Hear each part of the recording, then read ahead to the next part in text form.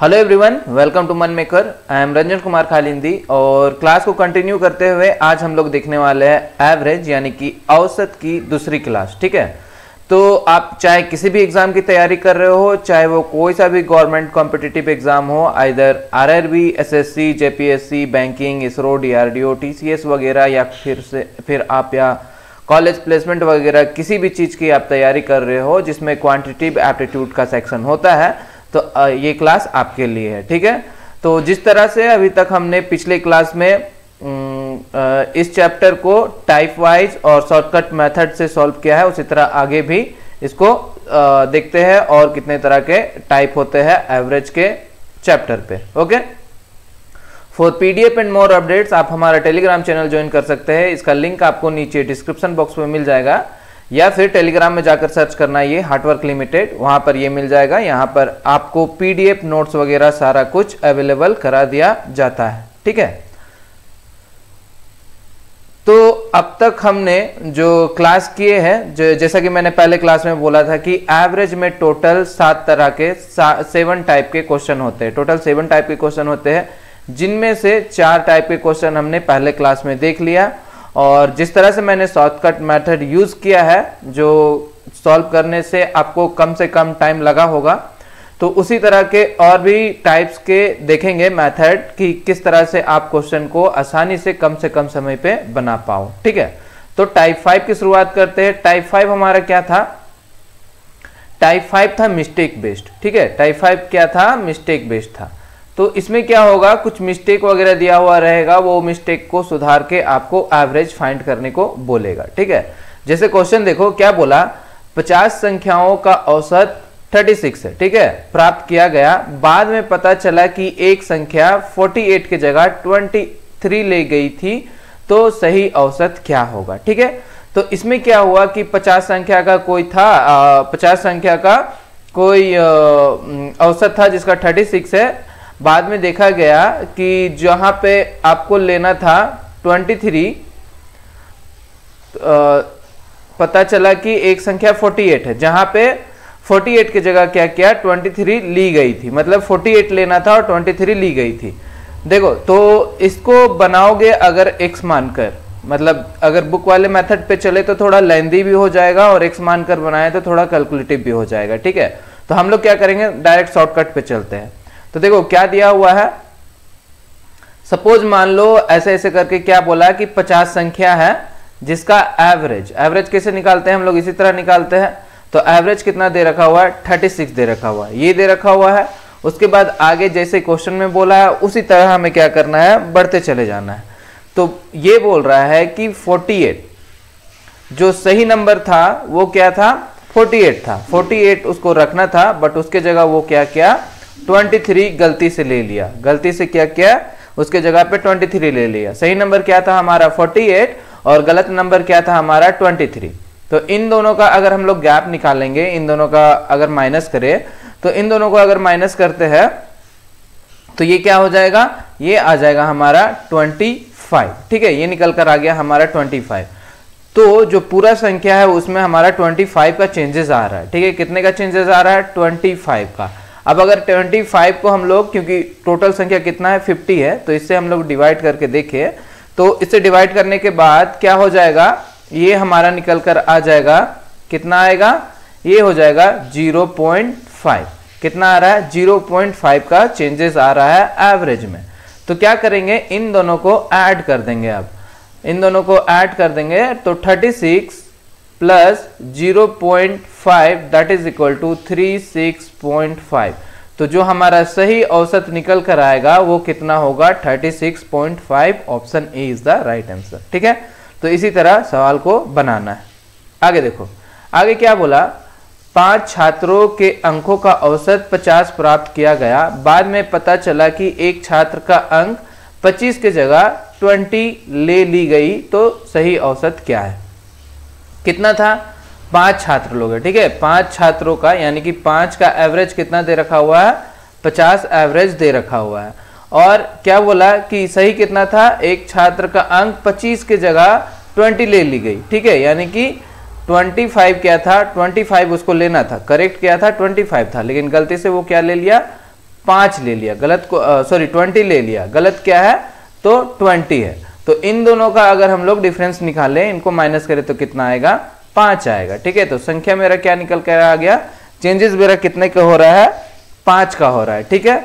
और कितने छात्रों का है? तो पाँच लोग है तो इसको डिवाइडेड बाई फाइव करेंगे तो कितने निकल कर आ जा रहा है? वन निकल कर आ जा रहा है, ठीक है? चेंजेस कितने का हो रहा है? एक का। अब सही औसत निकालने के लिए क्या करेंगे? इन दोनों को ऐड कर देंगे। तो ऐड कर देते हैं तो 50 plus one that is equal to 51 तो सही जो औसत हमारा क्या होगा? 51 होगा, ठीक है? ऑप्शन में तो 51 दिख नहीं रहा है, ठीक है? तो इसका आंसर क्या होगा? हमारा आंसर होगा 51 ही इसका आंसर होगा, ठीक है? ऑप्शन बाय मिस्टेक लिखा गया होगा बट इसका आंसर क्या होगा? 51 ये करेक्ट कर लेना, ठीक है? 51 होगा। ओके चलो, आगे बढ़ते हैं। नेक्स्ट क्या दे रखा हुआ है? 10 छात्रों के अंकों का औसत 63 प्राप्त किया गया। बाद में पता चला कि एक छात्र का अंक 70 के जगह 40 तथा दूसरों के दूसरे छात्र का अंक 60 की जगह 50 ले ली गई है तो सही औसत क्या है? ठीक है? तो देखो, यहाँ पे क्या बोल रहा है? यहाँ दो चीज़ है। एक तो जैसे बोल रहा है, उसी तरह चलते हैं हम लोग। कितने छात्र लोग हैं? टोटल छात्र जो है, दस छात्र है। इसका जो एवरेज दे रखा हुआ है, दस छात्रों का एवरेज कितना दे रखा हुआ है? सिक्सटी थ्री दे रखा हुआ है। अब देखो, आगे क्या बोल रहा है? बाद में पता चला कि एक छात्र का अंक सत्तर के जगह चालीस। ठीक है, कितना लेना था? सत्तर लेना था। सही कितना मतलब करेक्ट अंक क्या था? सत्तर था, लेकिन उसने गलती से क्या ले लिया? चालीस ले लिया। ठीक है? और दूसरे छात्र के बारे में क्या लिखा है? दूसरे छात्र का अंक 60 की जगह 50 ले लिया। मतलब लेना था 60 लेकिन ले कितना लिया? ले लिया है 50 ठीक है, गलती से क्या ले लिया? 50 ले लिया है। तो अब देखते हैं टोटल करेक्ट अंक हमारे पास कितना है? तो टोटल करेक्ट अंक हमारे पास है 130 और टोटल रॉन्ग जो गलत डाटा लिया गया है, वो कितना है? वो है 90 ठीक है? तो ये हो गया। अब क्या है? तो हाँ ठीक है, ये हो गया। अब क्या है कि, अब क्या करना है आपको? अब इन दोनों के बीच का हम लोग क्या करते हैं? गैप निकाल लेते हैं। सही सही कितना अंक है? सही अंक है हमारे पास 130 और गलत डाटा कितना लिया गया है? 90 लिया गया है। तो 130 में से 90 को माइनस कर देंगे, ठीक है? घटा देंगे तो 130 माइनस नब्बे कितना हो जाएगा? ये आपका आ जाएगा 40 ठीक है? तो कितना आ जा रहा है? 40 आ जा रहा है। चेंजेस कितना का आ रहा है? 40 अंकों का चेंजेस आ रहा है। अब इसका एवरेज निकाल देते हैं। तो एवरेज कितना हो जाएगा? यहाँ पे कितने छात्र है? दस लोग हैं। तो दस छात्र है ज़ीरो से ज़ीरो कैंसिल यानी कि कितना आ गया?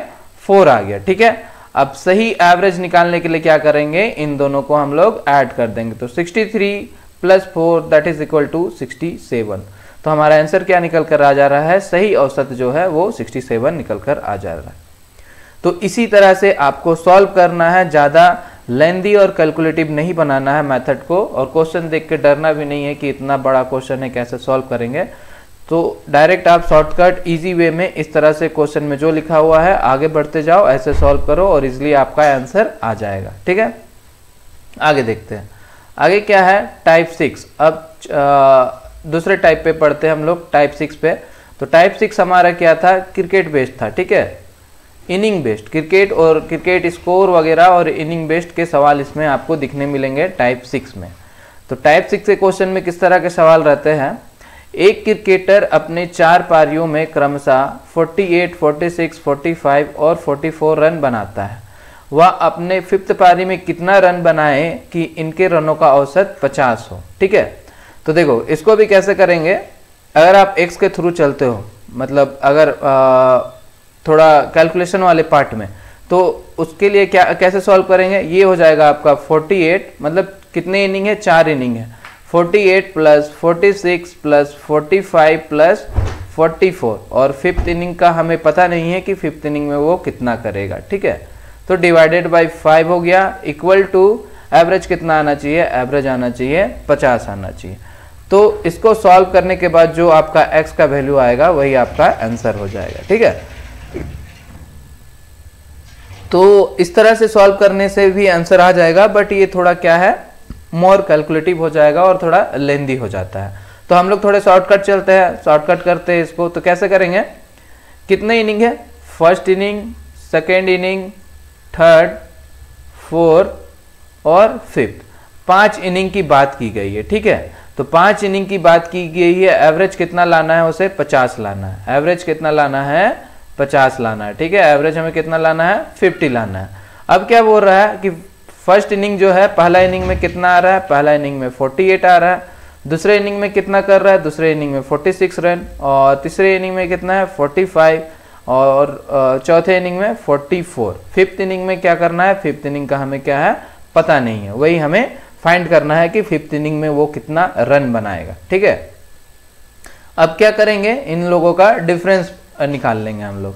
तो डिफरेंस निकाल लेते हैं, इसका कितना हो गया? ये हो जाएगा हमारा टू और ये हो गया फोर ये हो गया फाइव और ये हो गया सिक्स और ये तो हमें पता नहीं है, ये इनिंग तो इसको 50 माइनस ज़ीरो कर दो तो ये हो गया हमारा 50 अब क्या करेंगे? आपस में इसको ऐड कर देते हैं, ठीक है? तो इसको आपस में जब ऐड कर देते हैं तो क्या हो जाएगा? ये हमारा हो जाएगा पाँच, छ, सात। तो ये हमारा निकल कर आ जा रहा है सिक्सटी सेवन कितना निकल कर आ जा रहा है? सिक्सटी सेवन तो फिफ्थ इनिंग में इसको कितना रन बनाना पड़ेगा? सिक्सटी सेवन रन बनाना पड़ेगा ऑप्शन ए तो इस तरह से अगर आप बनाते हो, आप इसको इस तरह से भी निकाल सकते हो बट इसमें थोड़ा आपको मोर कैलकुलेटिव करना पड़ेगा। कैलकुलेशन वगैरह ज़्यादा करना पड़ेगा, लेकिन इस तरह से जाते हो तो ज़्यादा कैलकुलेशन नहीं करना पड़ेगा और कम समय भी लगेगा। आगे देखते हैं।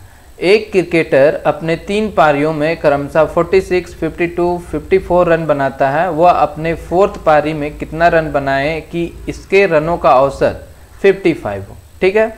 क्या बोला? कितने इनिंग है? तो चार इनिंग हो रहे हैं। ठीक है? थर्ड एंड फोर्थ चार इनिंग की बात की गई है और इसका एवरेज कितना आना चाहिए? 55 आना चाहिए। एवरेज 55 आना चाहिए। ठीक है? पहला इनिंग में कितना बना रहा है? 46 दूसरा इनिंग में कितना बना रहा है? 52 तीसरे इनिंग में कितना बना रहा है? 54 और लास्ट इनिंग का हमें पता नहीं है। लास्ट इनिंग हमें क्या करना है? फाइंड करना है। ठीक है?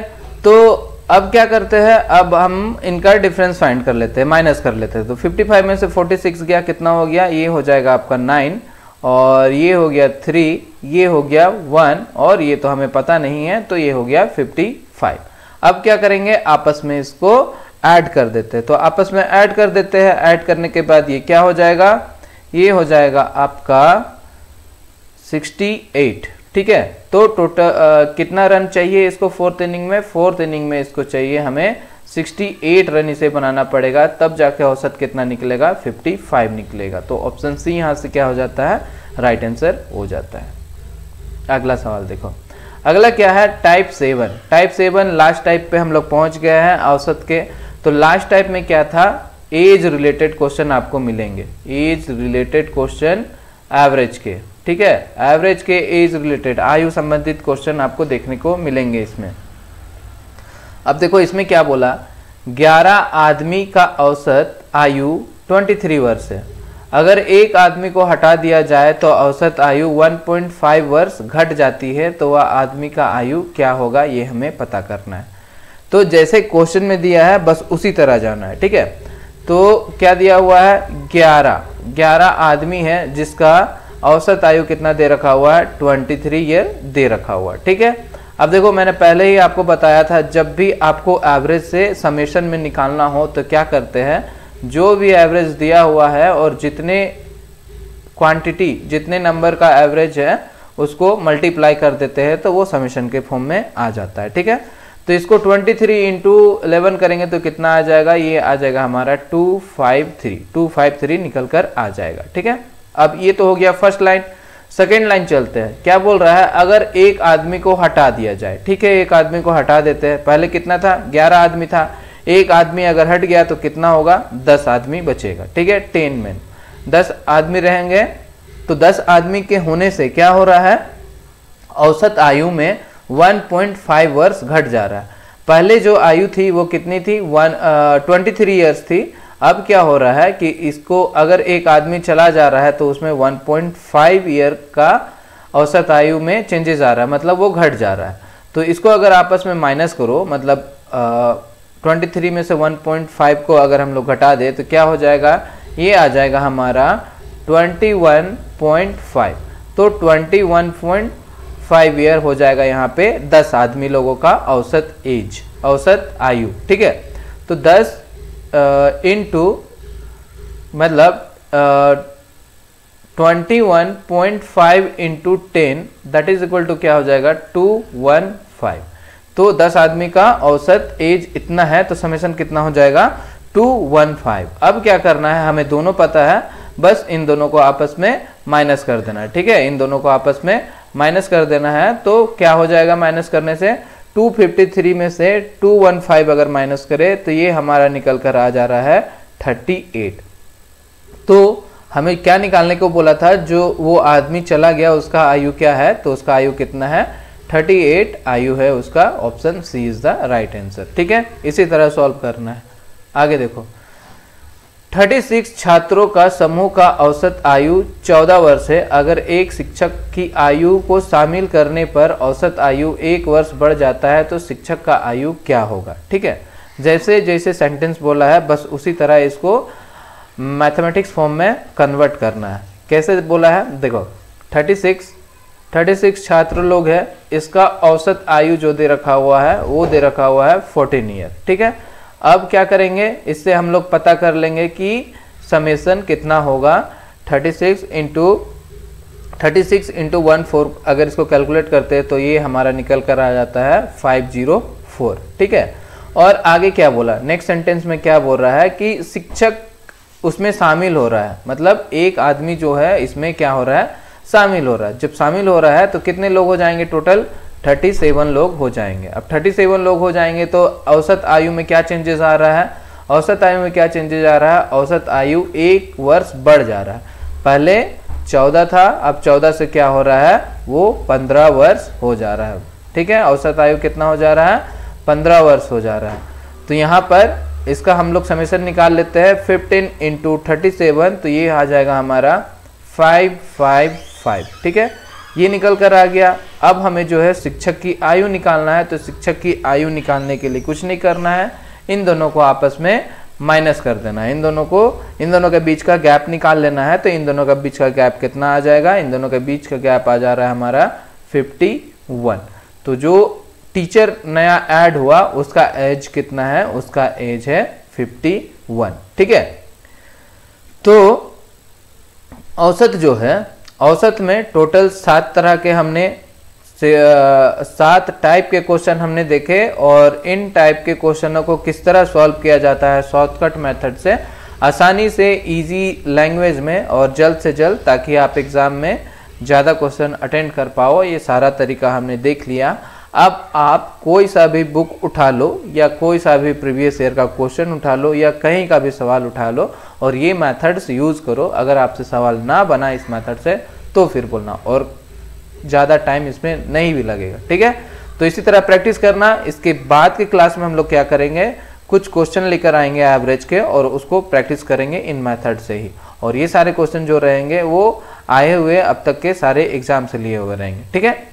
तो ये जो सवाल दे रखा हुआ है क्वेश्चन ऑफ़ द डे में, इसका आंसर आपको नीचे जाकर कमेंट में करना और कोशिश करना कि बिना पेन उठाए आप इस सवाल को सॉल्व कर सको। ठीक है? अगर आपने क्लास अच्छे से किया होगा तो बिना पेन उठाए भी आप इसको सॉल्व कर दोगे।